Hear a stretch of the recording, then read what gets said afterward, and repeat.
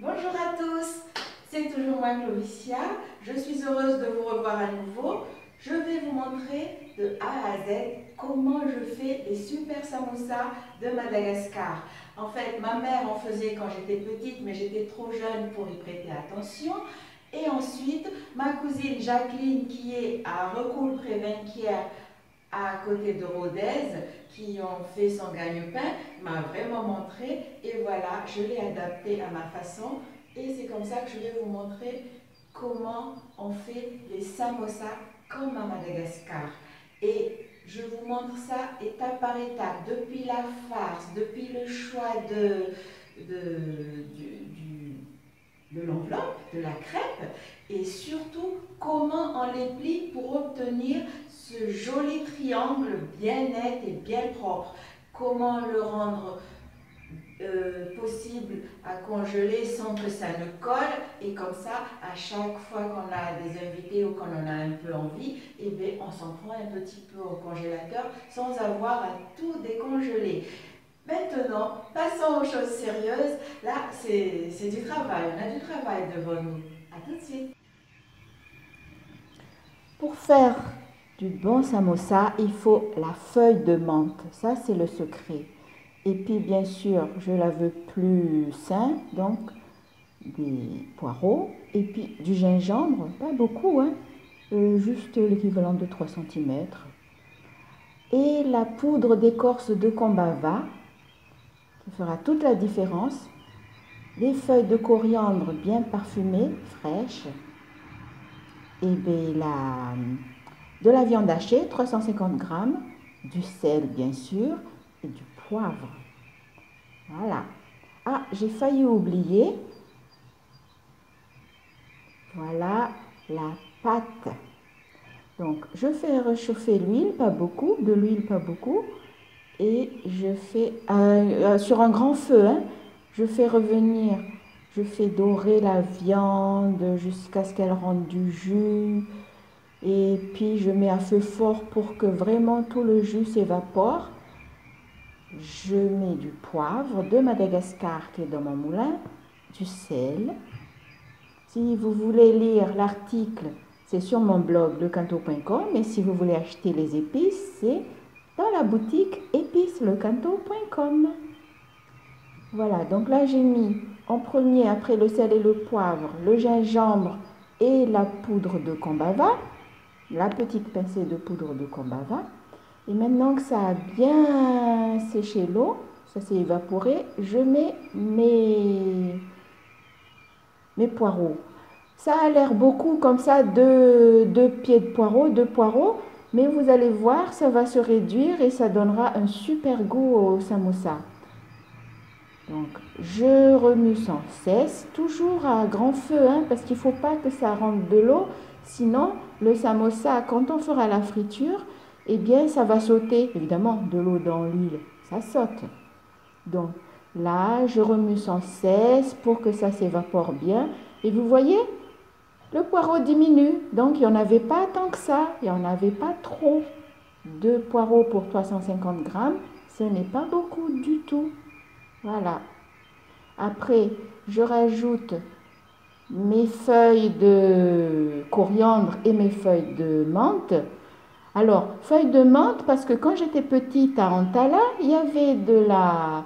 Il y avait des Indiens, des Malgaches d'origine indo-pakistanaise qu'on appelle ou qu'on appelait kapwak. Et c'était chez eux qu'on achetait des samosas. Et leur samosa avait un joli goût de, agréable goût de feuilles de menthe. Et je les reproduis. Ça mange pas de pain et c'est toujours aussi bon.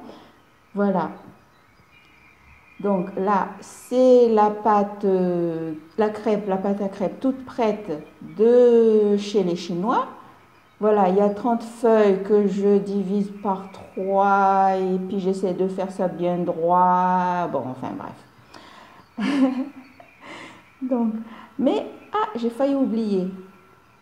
Il faut faire une petite euh, colle, euh, en fait diluer un peu de farine dans de l'eau pour coller les, la crêpe, la crêpe de samosa, et vous allez voir comment je fais.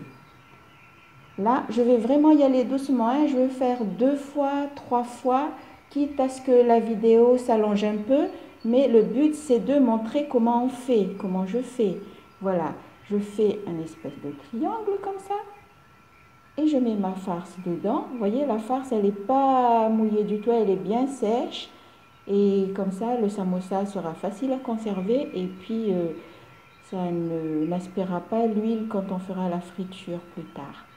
Voilà, je fais mon triangle, je referme en recherchant le, côté là, voilà.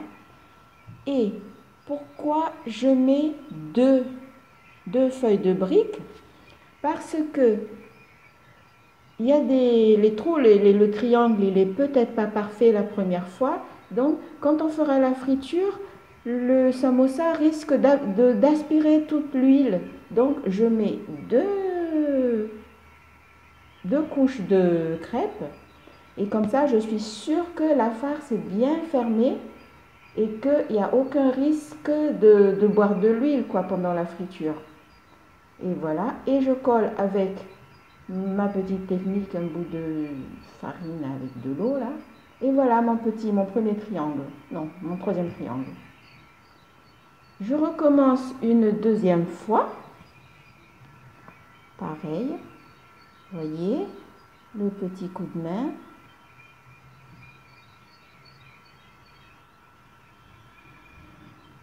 Euh, moi, je recommande d'essayer avec un, papier rectangulaire hein, dans un premier temps. C'est comme ça que j'ai appris quand j'étais gamine. Parce que ma mère, bien évidemment, ne voulait pas que je gaspille la crêpe. Surtout qu'à Madagascar, quand j'étais petite, il n'y avait pas des pâtes de crêpe, euh, des briques toutes prêtes comme ça. Donc, euh, vous comprendrez bien qu'elle voulait que je m'amuse avec un bout de papier. Voilà.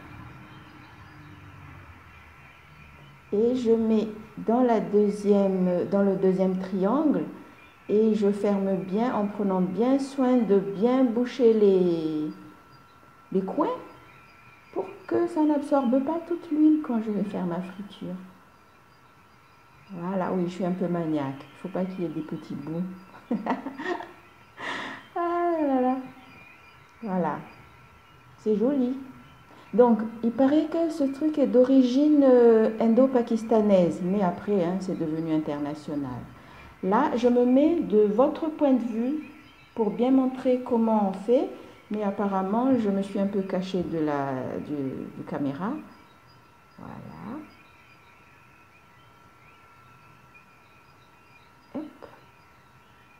petit bout qui sort. Oh, voilà, j'ajuste mon triangle et je pose, je prépare le deuxième, le deuxième triangle pour bien sécuriser ma farce. Voilà.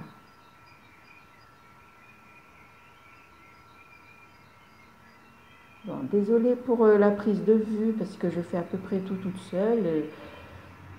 C'est pas tout à fait parfait, mais là, je pense que je vous ai bien montré comment je fais.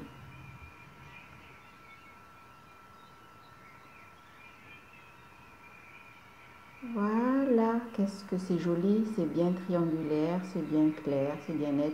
Ah oui, voilà une autre technique encore. Euh, c'est une copine à Toulouse qui, qui m'a montré cette technique-là, voilà. Elle avait l'air de s'amuser, mais elle était très rapide. Hein. Moi, je ne suis pas vraiment douée, mais elle, le faisait si bien et elle était très rapide. Peut-être que cette technique vous conviendrait mieux. En tout cas, moi, je n'ai pas vraiment réussi à faire l'affaire. Voilà, il y a mon chéri qui regarde. Je suis sûre qu'il va m'aider et on va aller très vite pour finir les 30, euh, les 60 samosas. Voilà. Et toujours ma petite colle.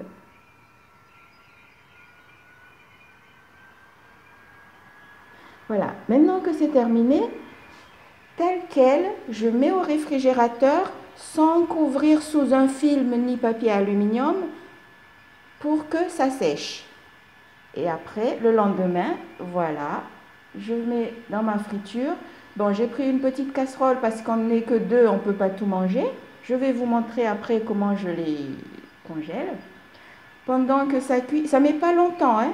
Pendant que ça cuit, j'ai déjà préparé les papiers absorbants pour euh, ben, absorber l'huile, l'excès d'huile qu'il y aura sur les samosas. En tout cas, en généralement, il n'y en aura pas beaucoup. Voilà, vous voyez comme c'est joli, c'est doré. Et hop, je ne suis pas très douée. Voilà, sur mon papier absorbant. Et voilà. Donc, je vais vous montrer comment je, les conserve. Comme c'est resté toute une nuit au réfrigérateur sans être couvert, vous voyez, ça ne colle plus. Donc, je vais faire des paquets de 12 ou 15 que je vais fermer et je congèlerai à chaque fois que je voudrais m'en servir. Je n'aurai pas besoin de tout décongeler. Je n'aurai qu'à prendre 4 ou 6. Voilà, c'est que de l'amour. Et puis, le bon vin, le chuclan qui va avec. Voilà, nous avons nos samosas comme on fait à Madagascar. Ils se mangent accompagnés d'un petit rougail de tomates ou de mangue verte, avec du piment bien sûr, ou euh, sur de la salade laitue. Et ça peut être pris en, en entrée comme en apéro. De toute façon, c'est tellement bon qu'on ne s'en offusque pas. Ça va très bien aussi avec un bon petit vin rouge, un petit pot du Rhône.